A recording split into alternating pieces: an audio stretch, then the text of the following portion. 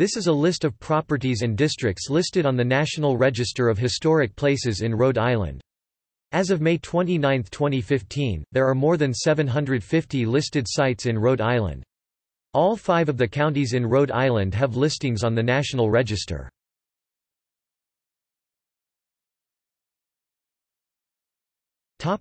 Current listings by county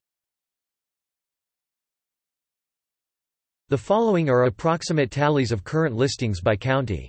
These counts are based on entries in the National Register Information Database as of April 24, 2008 and new weekly listings posted since then on the National Register of Historic Places website.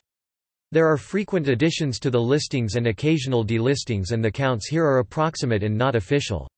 New entries are added to the official register on a weekly basis.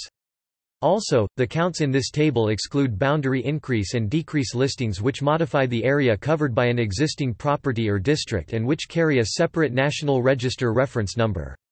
The numbers of NRHP listings in each county are documented by tables in each of the individual county list articles.